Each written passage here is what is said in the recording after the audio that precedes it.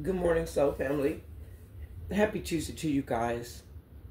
I have a download from Spirit this morning, and Spirit is saying that there are many of us in the collective that are going through monumental, what seems to be hurdles. For some, take it how it resonates, setbacks. For others, it seems to be a period of idleness or stagnation where nothing seems to be moving. You can see things moving around you, and perhaps questions are being asked or posed to you um, as if there's something that you need to do or something that you've done that was in error. But Spirit is saying that there is not an erroneous act that has taken place. For many, what is happening is that you are being held at the gate just before the release. The gun has not sounded, and it just like in Jesus' time, it is not yet your hour. You're being held for your protection. Right now, the holding is for your protection. Number two, for some of you, the holding is to see. Look on the screen as you wait for your turn to come up. The Almighty wants to know that yes, you have learned the lesson. The Almighty wants you to go back and see a preview of your life up until now.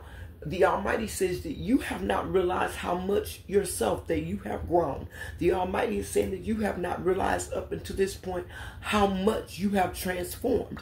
The Almighty is saying that you have not realized that you're not in a state of punishment, but you are in a state of protection. You are being protected from the enemies that are right. You're right at the pinnacle of receiving your promise. And the enemy is standing on the other side of the gate, cloaked in friends, cloaked in family, cloaked in false partnerships and alliances, trying to fool you. But the Almighty is saying that your intuition is on point. You see all of the false people. But here's what's happening. The people that are on the inside that are supposed to be your closest allies, some of them have been cloaked and cloned to make you believe that they are who they are, but they haven't been who they're supposed to be for a very long time. Spirit is saying that no worries. The only thing that you need to do is stand in your power.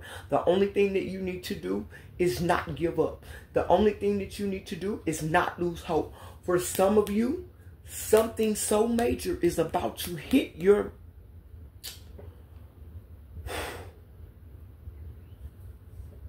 I can't even I can't even get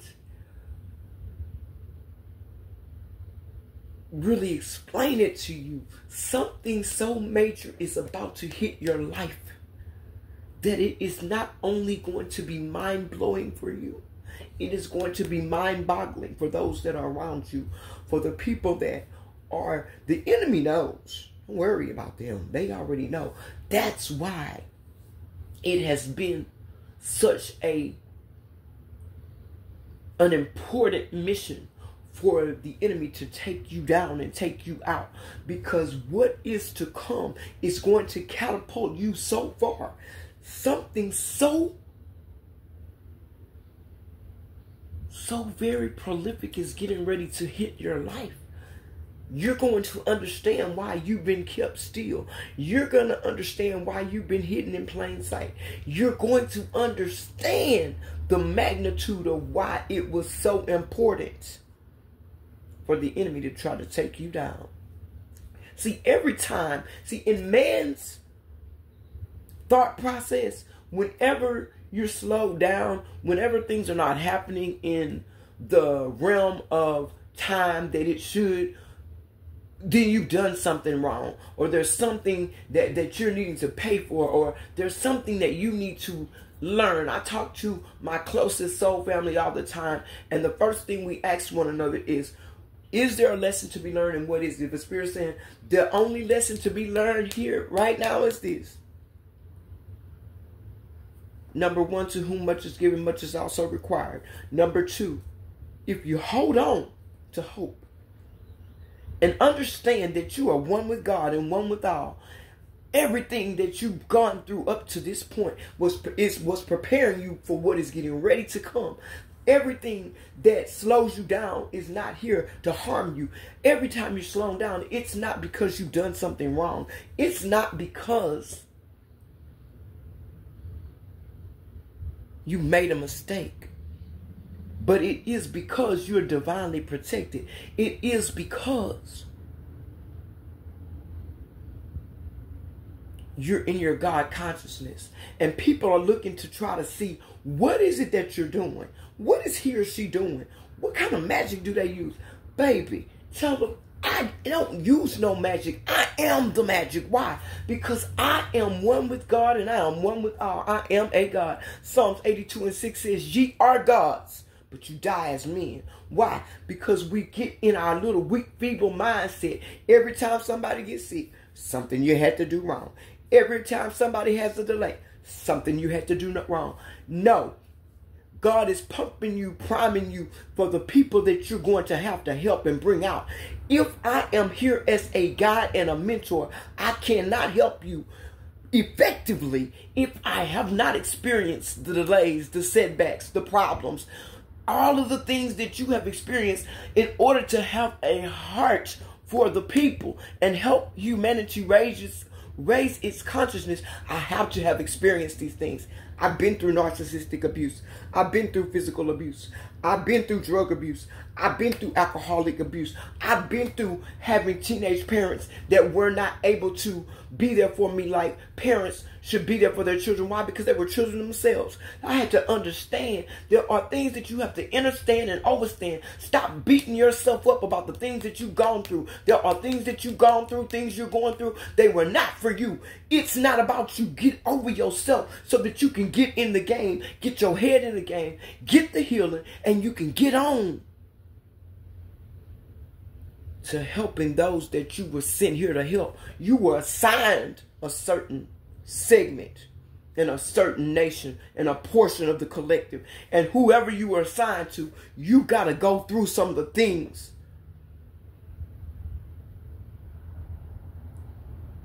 That you're going to have to bring them out of. Because, see, you got to heal yourself. And as you heal yourself, you'll heal others. You got to live in your truth. You don't want to bring anybody down, don't want to tear anybody's name down, but they didn't think about that when they was tearing your name down. Tear, telling the truth, ain't tearing nobody's name down. Telling the truth, ain't lying on nobody. Telling the truth, ain't making nobody look bad. If your truth is bad, then you'll look bad. But as I tell my truth, the truth that happens to me, if you're in the storyline, I hope you played a good part. Because whatever part you played in the storyline, that's what I'm going to tell. I'm not going to add anything to it and I'm not going to take anything away from it. But the choices that we make, they do have a reflection on the consequences that we have to bear. But once you learn how to transmute energy, once you learn how to elevate your consciousness, you can change the perception and the reality. If you don't like the reality that you see, switch your frequency. Stop worrying about what people are going to think. If you do everything according to whatever guidelines that society sets out, somebody still ain't going to like you. I've had people that call me a witch. I've had people that call me a wolf in sheep clothing. I've had family members I haven't even seen for years and years and years and years and years. Don't know my mission, don't know my purpose, don't know me as a person. I got friends that stop talking to me. I don't care. Because if you stop talking to me, you were never my friend. If you accuse me of being something that I'm not, you never knew me. That's what Jesus was telling people. What God's going to say, depart from me, you work of iniquity. Iniquity is tearing somebody down when you don't know their heart. When you have a heart for God's people, you will only do what's for the good of all and harm to none. You will only send light, love, hope, peace, healing to people. You got people in the church that'll tell you, I need 10 people. Bring me a hundred dollars. God said he's gonna do that. That's damn mind manipulation. You gonna take the money up there. Tomorrow your lights out. What happened to God? God was never in it. That's what happened. You're so stuck on needing a master. You're so stuck on needing a leader. You are the leader. You were sent from the Most High. You are the consciousness of Source. You are the voice of God in the flesh. But you need a leader.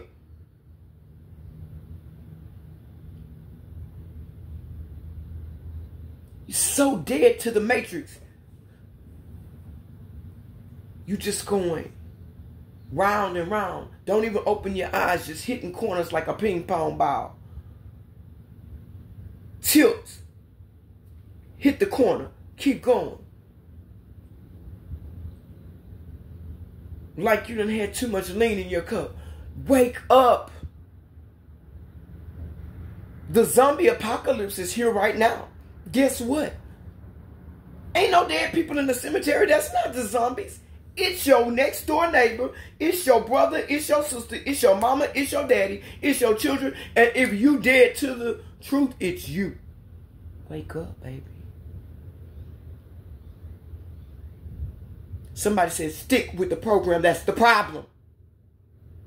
You're being programmed. Wake up. Make your own conscious decision.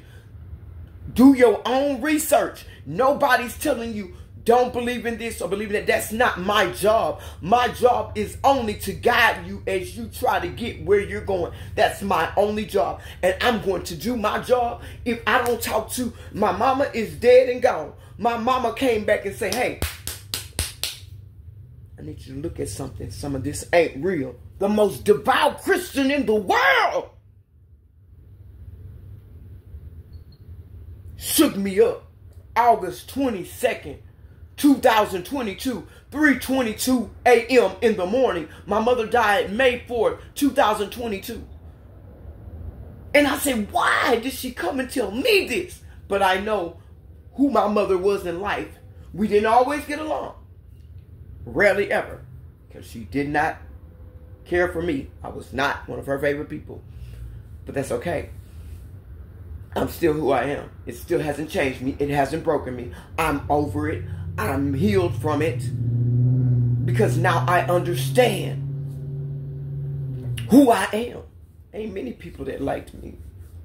Hell, sometimes I didn't like myself. But I still have a job to do. And I'm going to do my job regardless. You still have a job to do. You got to get up and do your job. You cannot worry about the lover that scorns you it didn't happen to you, it happened for you. You cannot worry about the parent that abandoned you. It didn't happen to you, it happened for you. You cannot worry about the so-called friends that betrayed you here, there, everywhere, stole from you. It did not happen to you. It happened for you. Because if it had not have happened, it would not have awakened you. It awakened you in order for you to heal so that you can get on your life purpose and your journey. For some of you, you are teachers. For some of you, you are healers. For some of you, you're in the church right now and saying, I'm teaching these people one thing, but I'm feeling something else. Wake up. Wake up. Nobody can make you do anything. But when that truth gets in your spirit, when all of your chakras line up and everything starts to turn within you, you will not be able to deny what the truth is. You will no longer be able to live in the paradigm of a matrix that is programmed so that you will stay dead to the world, so that you will not raise your consciousness, so that the powers that be of this world can continue to do all of the things. How do they get by with doing so much violent evil? As above, so below.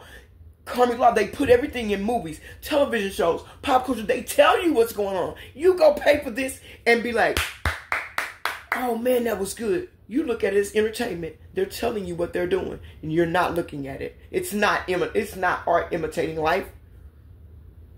It's you being warned about what I'm gonna do. Because if I warn you and give you a heads up, then I'm not subjected to karmic law. It's called hidden in plain sight. Think about the day that you discovered who you really were. And all the aha moments because everything that you had been taught, you realized was a lie. Everything that you had believed, you realized the math wasn't mathing. And when you realize why the math wasn't mathing, your life went from not lifing to over abundantly lifing. You start to manifest things, not curses. You start to manifest things, not blockages. But everything started to open up for you. You started to see who you are in the realm of time. You started to see what Jesus meant when he said, I knew you before I formed you in your mother's womb. Why? Because you've existed. Always existed in the consciousness of time. There are people that will try to talk you back into the matrix.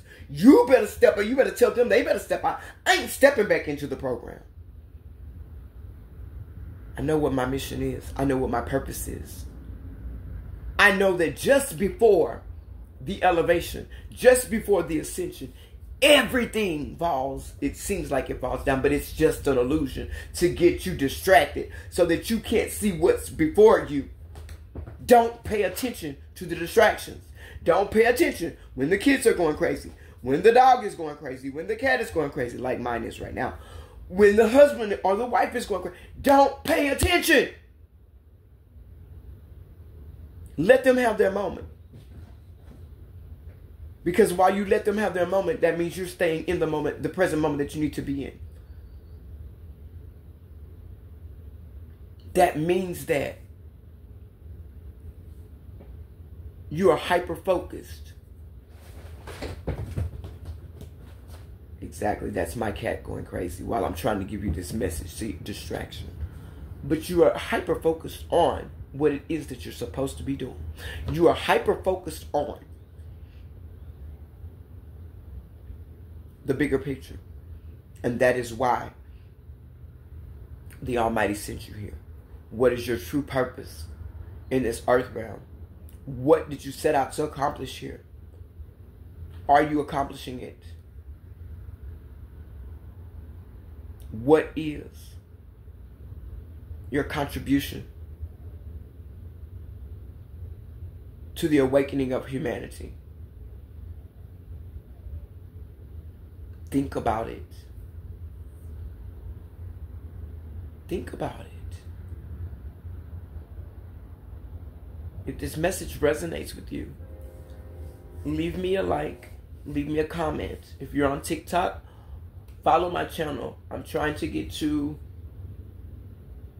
a thousand followers so that I can go live and interact with you guys. If you're on YouTube, like, share, subscribe hit the notification bell so that you'll know when I post a video. And uh, I am planning a live with you guys uh, this week. I'll um, put it on my community page. Uh, also, if you'd like to book a personal reading with me, right now I'm doing a retrograde special uh, um, until the 30th of April. You can, um, I will put a link in the description box, and you can click on that link with instructions to book the um, retrograde special is 4444. You can book it, and um, it will be a 30 minute Zoom reading, um, full reading, any kind, love, money, career, whatever, um, spiritual warfare. Um, if you'd like to donate to the channel, I will also put a link, my uh, cash app, cash tag in the description box as well. I really thank you guys for your support. Remember, I will never reach out to you for a reading, uh, for a healing session, or uh, I'm getting ready to drop some uh, products, uh, resources, and tools to help you out on your journey. But um, I will never reach out to you for anything. And just beware of scammers. Um, and just know that no matter what's going on, you are divinely guided and divinely protected. Um, don't fall for just anything. Stand in your stead. Stand in your power. Don't be afraid to let people know that you know who you are and that you're not going to fall for any false narratives. I love you guys. Keep going, keep growing. And I'll see you guys on the next one.